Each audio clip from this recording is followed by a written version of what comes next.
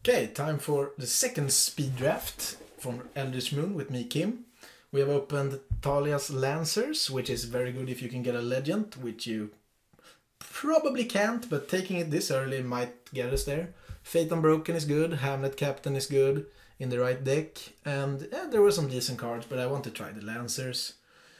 Here we have a Shocking Restraints, Restraints which is the best white common, I think.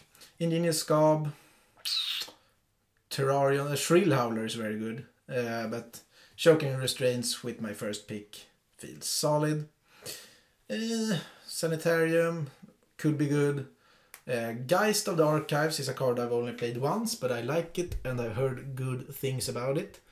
Otherwise, I guess there's a Midnight Scavenger a paladin, which I don't like, so therefore I grapple with the past. Decent in Delirium, obviously, but maybe we can be white blue spirits. Who knows? Uh, no blue cards, no real good white cards. Ah, okay, yeah, so scheduled downtime ongoing. But there's a Dawn Gryff, which goes fine with white blue, and it's still fine if I go white red or white green or whatever. It's a 2 2 flyer on the curve. Hanweir Battlements is something I could pick if I had the Garrison, but I don't. So, Strong Shield, Shieldmate is a flash 2 3 spirit that also pumps uh, my other creatures, so you can save you can save someone in combat or something. Okay, uh, Crusader is good in the vampire deck. I don't love it when you don't have other vampires. It's decent, but it's obviously much better if you can give it haste. Uh, Lunarch Mantle is actually a card I like, but Ulvenwald Captive might be a sign that green could be open. I guess we have passed the 3-1 so far, but that was the first pack, so that's not really a signal. Oh, Ironclad Slayer to go with the Shocking Restraints. If you don't know it already, it's a combo, obviously, getting back the enchantments from the graveyard also works works well with, for example, Boon of Emrakul. I've seen my friend actually. Okay, Ingenious Skaab. My friend actually got uh, the same shocking restraints played against him for for five times the same game during a sealed match. He played against white black, and the person had three ironclad slayers and a way to get back the slayer when it died. Sentry I haven't really loved in this format. I think that card is has underperformed. So the cards have dried up. Uh, don't really have to do anything here. Could just take a displace. Maybe we could get a lot of enter the battlefield effects. So now we're just grabbing some cards. I guess we can cut the white card here. so we have some decent white cards, two blue cards and one captive. Um, I think we can stick to white, but we don't really know what our secondary color is yet. Okay, Mausoleum Wanderer, eh, not really good in limited. Savage Alliance, the best uncommon I think in the whole set. I, it's on par with Murder and maybe something else, and maybe the Green Fight spell. But Savage Alliance has done so good uh, work for me. Otherwise, we could take a Spirit, uh, we could take a Tattered Haunter, but Savage Alliance is so good. I want to take it, but I still, I also don't want to take my fourth color. And I don't know if red, red could be open. We haven't seen that much power in the packs. So I'm taking the spirit here reluctantly. reluctantly. Hard word to say in English. Uh, collective effort is very good. A bomb rare, I think. I mean, putting a counter on all your guys while killing something is a big tempo swing. Okay, so getting past the Mirrorwing Dragon might be a signal because if no one to the left of us, I guess two person to the left is right, then uh, is red, then it might be time to move in. I'm not missing out on much. Blessed Alliance is fine, but I haven't really felt that it's super in this format.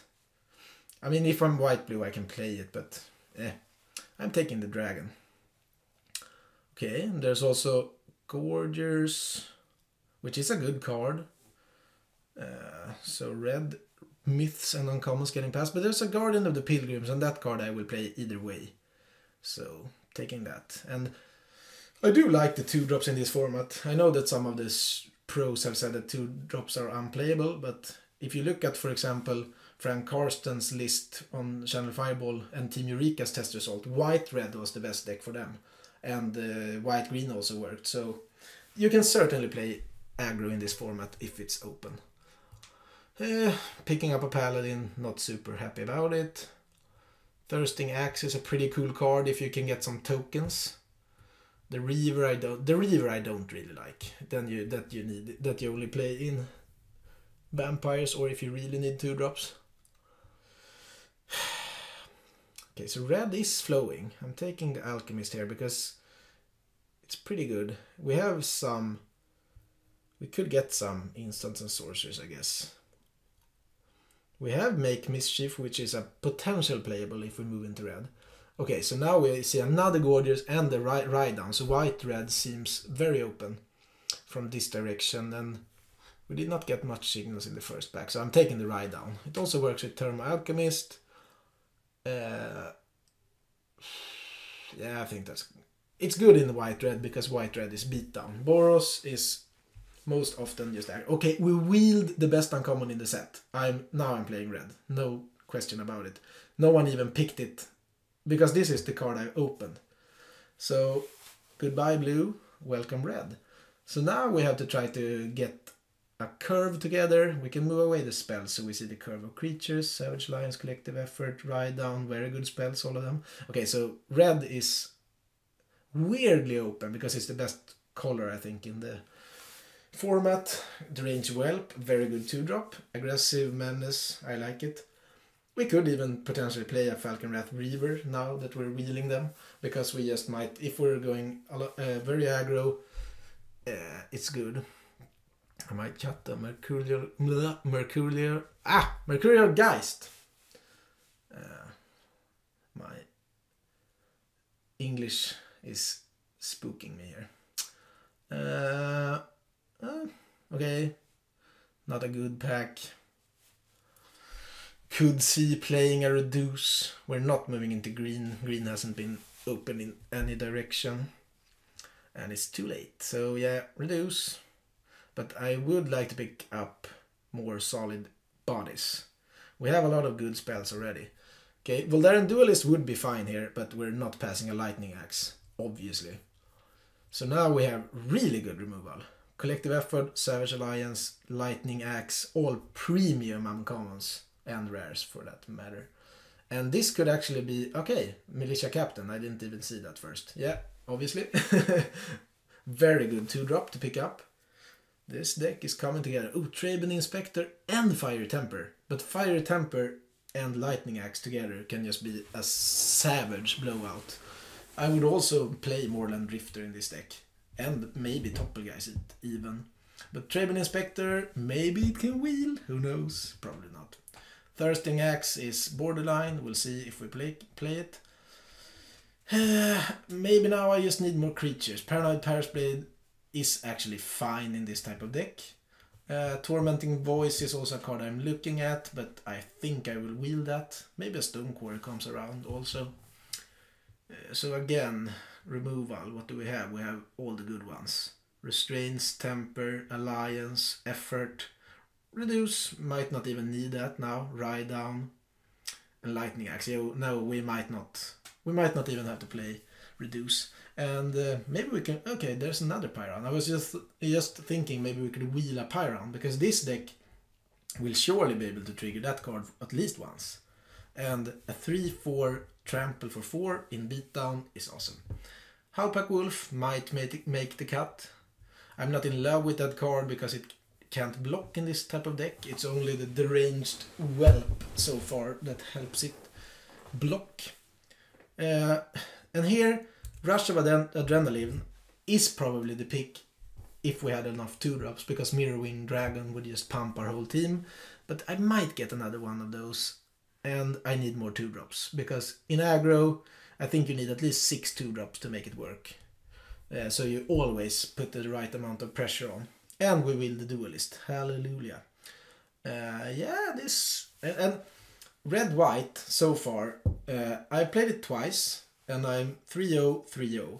I think uh, Boros has overperformed for me so far. And if you looked at, if you're going uh, into Channel Fireball and look at Frank Karsten's test results from Team Eureka, you can see that Red White was the deck, ooh, Thraben Inspector, that won 70% of its game while they do, were doing testing. It was the, mo- the best performing archetype uh, during their whole test uh, process, and that says something. So even though I mean Ben Stark and people are, don't like it, there's that's only one data point. I mean the other team does like it, and for me, I've come to the conclusion that I do like it. Reduced ashes, we don't need it. We already have to cut a card. So what is worse? I do like Make Mischief in this deck because it triggers stuff. Pyrehounds, Alchemist, and you can actually do a pretty sweet play. Okay, I don't know why they're doing this all the time.